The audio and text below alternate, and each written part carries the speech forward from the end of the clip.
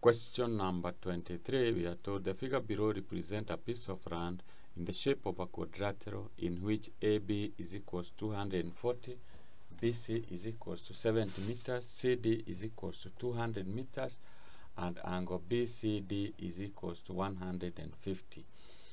Uh, and uh, ABC is equals to 90.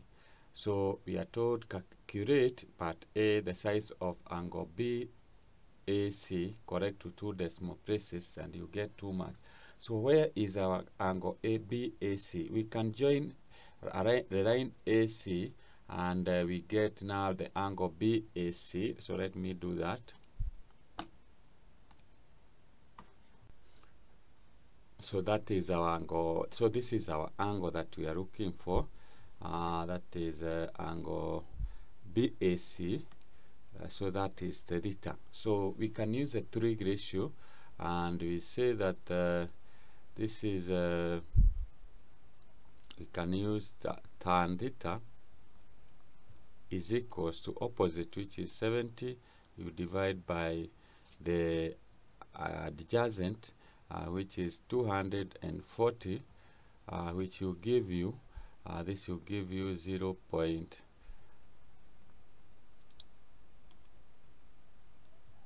0.2917 uh, so which is uh, we can now get the tan inverse of that and you get theta is equals to 16.26 uh, degrees. So that is how you get uh, that angle BAC uh, so we go to part B. The length AD correct to one decimal place.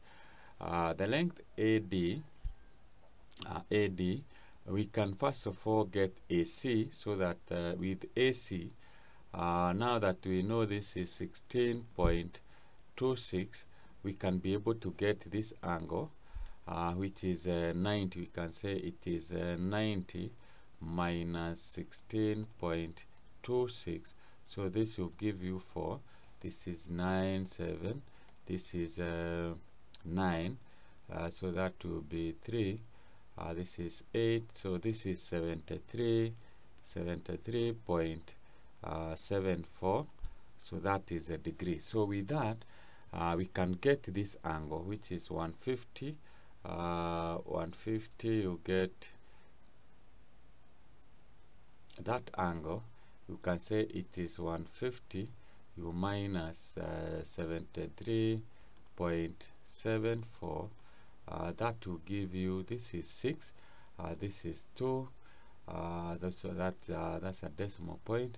So this is uh, 9 minus 3 that will give you 6 uh, this is 14 minus so that is 76 point.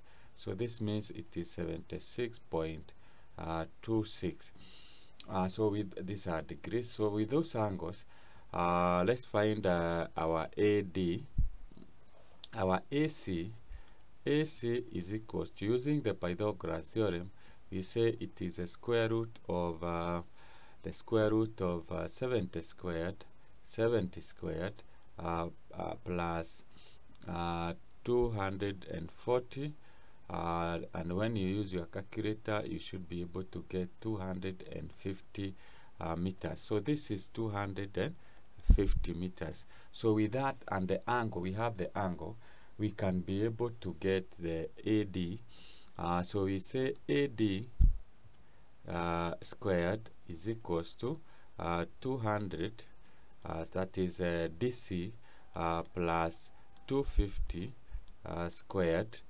minus 2 A that is times 200 times 200 times 250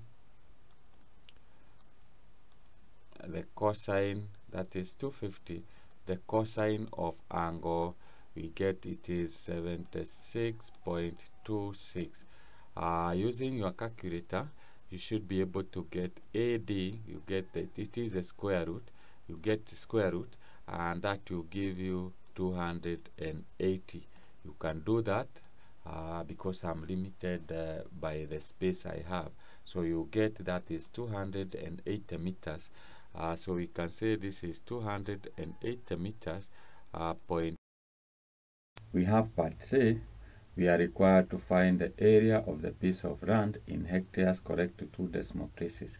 So to get the area, we can get the area of that triangle and we add the area of that triangle.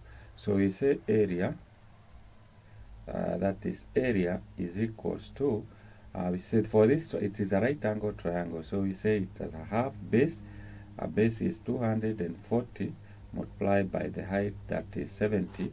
Then you add the other angle. Since we have, have found the angle ACD is 73.474, uh, we use that angle and the two sides.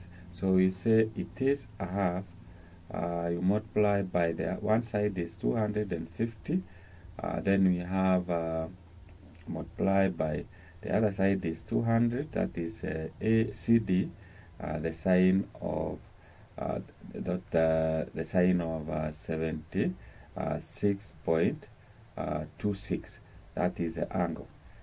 So with that this is the the other formula of finding the area of a triangle. So this will give you uh, this you get it is 8400 and when you compute using the your calculator the other one you get it is 24 uh, that is 24,000 24,000 and we have uh, 284 284.59 which when you add uh, you'll be able to get uh, this is uh,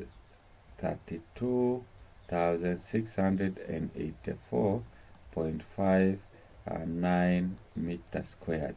Now that you know that 10,000 uh, meter square is equals to one, hec one, acre, one hectare, so to, to express this in terms of hectare, you say it is uh, 32684.59 you divide by 10,000 and that will give you uh, you divide this will give you 3.27 uh, and this is uh, to two decimal places.